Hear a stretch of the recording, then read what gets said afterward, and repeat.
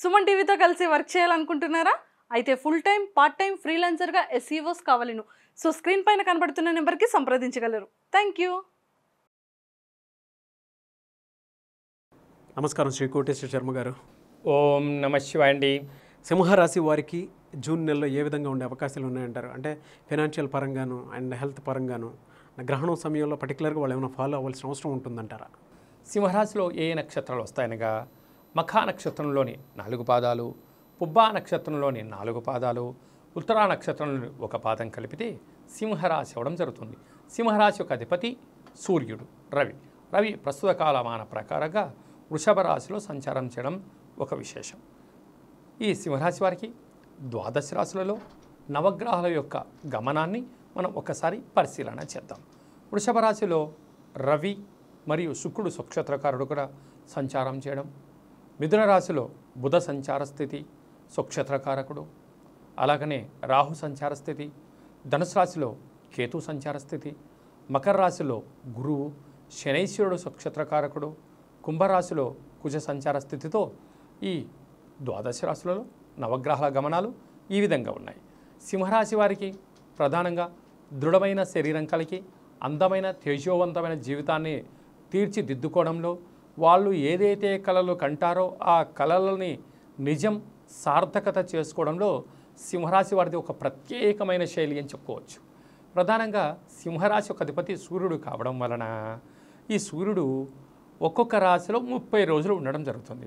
అలాగా ఒక ఏడాది తిరిగి వచ్చే లోపల పన్నెండు రాశులను చుట్టేసుకొని వస్తే పన్నెండు ముళ్ళ ముప్పై ఆరు మూడు వందల అరవై రోజులు అయ్యేసరికి సూర్యుడు ఒక పన్నెండు రాశుల్లో ఒక వృత్తాకారం తిరిగి రావడం జరుగుతుంది. అలాగని సింహరాశి వారు కూడా సకల కళల ఎందు పరిపూర్ణమైనటువంటి అవకాశం అంటే తెలుసుకోవడం దాన్ని సాధన చేయడం దాన్ని సాధించడంలో సిద్ధహస్తులుగా భావించే పరిస్థితి ఉంటుంది.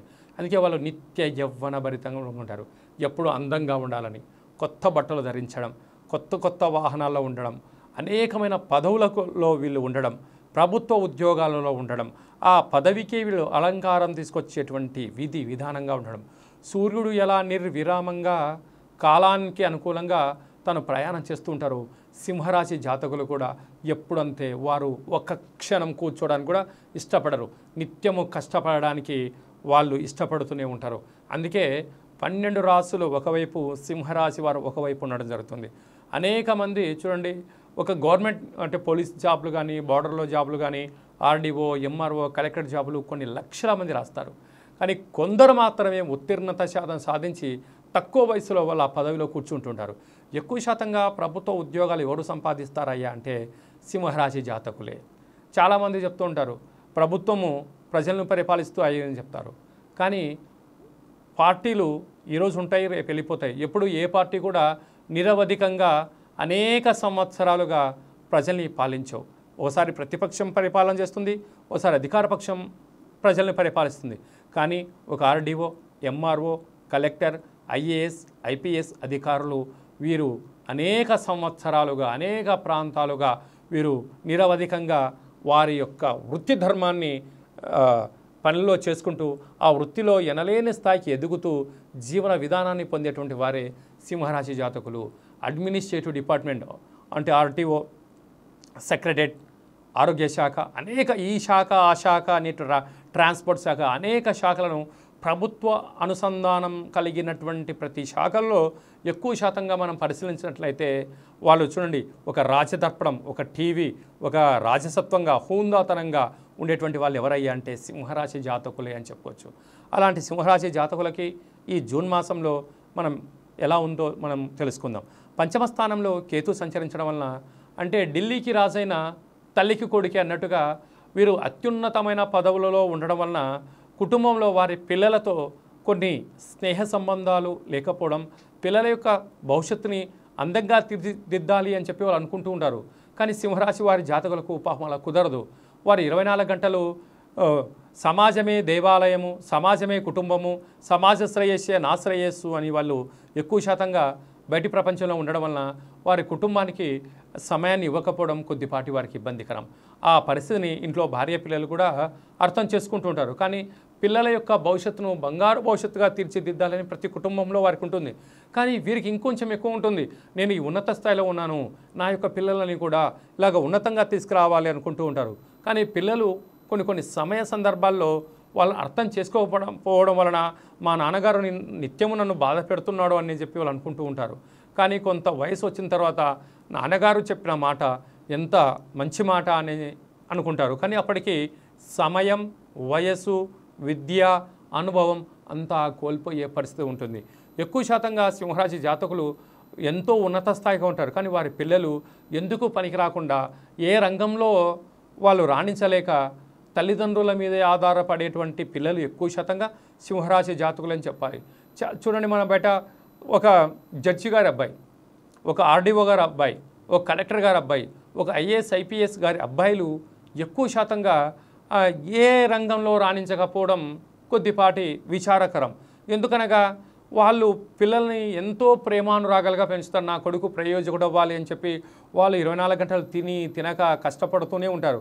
కానీ పిల్లలు ఆ భావాన్ని అర్థం చేసుకోకపోవడం కారణం చేత వాళ్ళు ఏ శాఖలో నిలబడకపోవడము జీవితాంతము తల్లిదండ్రుల జీవనాధారంతో గడుపుతున్న వాళ్ళు అనేక మంది ఉంటారు. కానీ వాళ్ళు ఏం అనలేరు. అలా అని చెప్పి పిల్లలను భావం అర్థం చేసుకోవట్లేదని చెప్పి వాళ్ళ వేరే మిత్రులతో చర్చలు చేసుకుంటూ ఉంటారు. కానీ వారికి ఈ జూన్ మాసంలో కేతు పంచమస్థానం ఉండడం వలన పిల్లల గురించి భవిష్యత్తు గురించి ఎంతో ఆలోచన చేస్తూ ఉంటారు.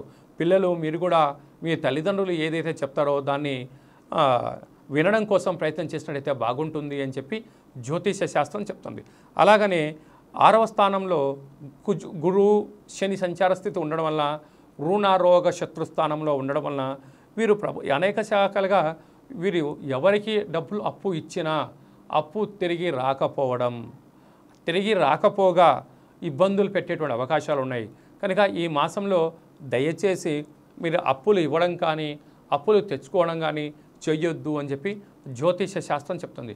ఎప్పుడైతే అప్పులు తెచ్చుకుంటామో వాడు రాగానే అయ్యో నేను కట్టలేకపోతున్నాను అనేటువంటి మీకు ఇన్నర్ ఫీలింగ్ కలుగుతుంది. కట్టలేదు అని చెప్పి వారు మీ పైన మాటలతో మిమ్మల్ని బాధ పెట్టే అవకాశాలు ఉన్నాయి. మీరు ఎంతో సున్నితమైన మనసు కలిగి హుందాతనంగా ఉంటూ అప్పులు తీర్చలేకపోతున్నారని చెప్పి వ్యాధులకు గురైపోయి లేనిపోని షుగరు బీపీ థైరాయిడ్ వ్యాధులు తెచ్చుకునే అవకాశాలు ఈ మాసంలో కనపడుతున్నాయి.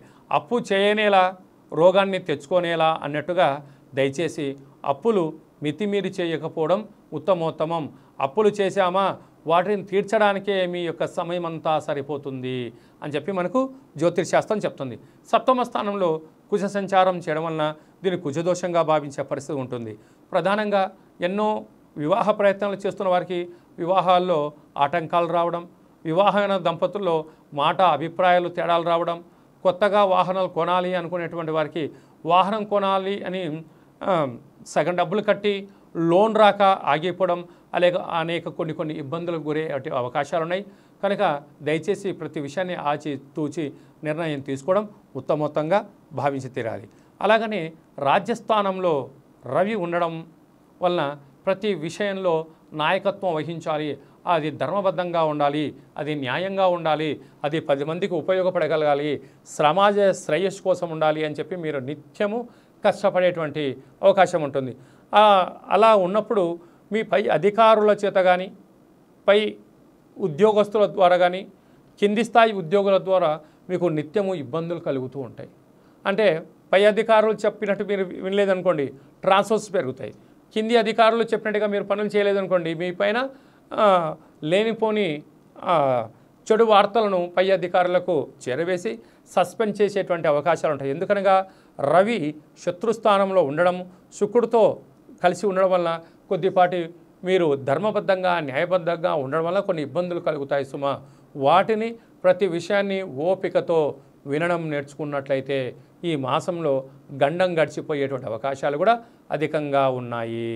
అలాగనే వీరికి ఏకాదశ స్థానంలో బుధుడు ఉండడం వలన ప్రతి విషయంలో వీరికి బుద్ధితో కూడుకున్న పనులు చేయడం వలన ఎంతో సత్ఫలితాలని రావడం జరుగుతుంది. బుద్ధితో కూడుకున్న మంచి పనులు చేయడం వలన వీరి సంపూర్ణమైనటువంటి వీరు వ్యాపార వృత్తులతో కానీ ఉద్యోగ వృత్తులలో మీకు రాజయోగం కలుగుతుంది సుమా అని చెప్పడం జరుగుతుంది. అలాగనే రాహు కలిసి ఉండడం వలన మీరు గతంలో ఎవరికైనా అప్పులు ఇచ్చినట్టయితే అవి రాకపోగా మిమ్మల్ని ఇబ్బంది పట్టేటువంటి అవకాశాలు కూడా ఉన్నాయి. కనుక అప్పులు ఇవ్వడం అనుకోండి అప్పులు తెచ్చుకోవడం అనుకోండి మీ దగ్గర కొద్దిపాటి ధనం ఉన్నట్లయితే సుస్థిరమైనటువంటి వ్యవసాయ క్షేత్రాలు కానీ స్థలాలు కానీ గృహాలు కొనుక్కున్నట్లయితే మీకు ఎలాంటి ఇబ్బందులు రావు సుమా అని చెప్పడం జరుగుతుంది. అలాగనే జూన్ పదహైదవ తారీఖున రవి రాజ్యస్థానం నుంచి ఏకాదశ స్థానంలోకి రాబోతున్నాడు. అప్పటి నుంచి మీకు తిరుగు లేనటువంటి రోజులుగా భావించే పరిస్థితి ఉంటుంది. ప్రథమార్థం కన్నా ద్వితీయార్థం నుంచి ఈ సింహరాశి వారికి అద్భుతమైన మంచి రోజులు ఉన్నాయి సుమా అని చెప్పడం జరుగుతుంది. అలాగనే పంతొమ్మిదవ తారీఖున సప్తమ స్థానంలో ఉండబడినటువంటి కుజుడు అష్టమ స్థానంలోకి వెళ్ళడం వలన కొద్దిపాటి పూర్ణిమ తిథి ఎందున సముద్ర స్నానం కానీ అమావాస్య రోజున విశేషమైన చర్చలు మీటింగ్లు విందులు వినోదాలు దూర ప్రయాణాలు పెట్టుకోవద్దు అని చెప్పడం జరుగుతుంది. అష్టమ స్థానం ఆయుస్థానం ఆయుస్థానంలో రోగకారకుడైన కుజుడు ఉండడం వలన మనోవేదకు మీరు గురయ్యేటువంటి అవకాశాలు అధికంగా ఉన్నాయి సుమా అని చెప్పే పరిస్థితి ఉంది.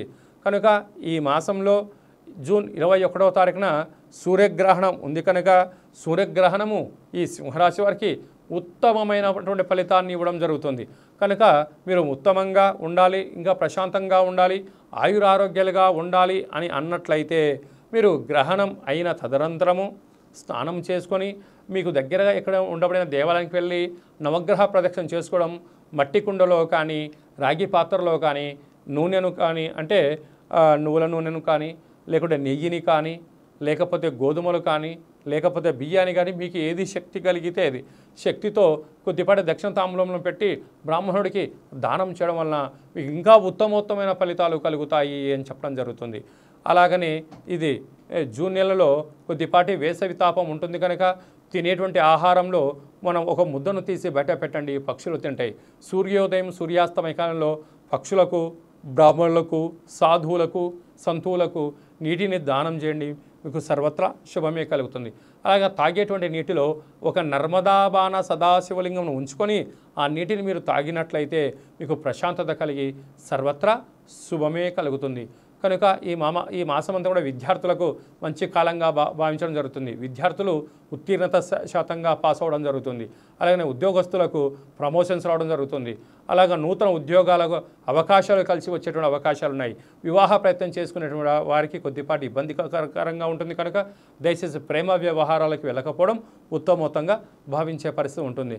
కనుక వీరందరూ కూడా వీలైనంత వరకు ఓం హ్రాం హ్రీం రౌం సహ సూర్యాయ నమ అనేటువంటి మంత్రాన్ని ఇరవై ఏడు సార్లు తగ్గకుండా నూట ఎనిమిది సార్లు రోజు పారాయణం చేసినట్లయితే మీకు సర్వత్రా శుభం జయం లాభం కలుగుతుంది. అలా కలగాలని కోరుకుందాం.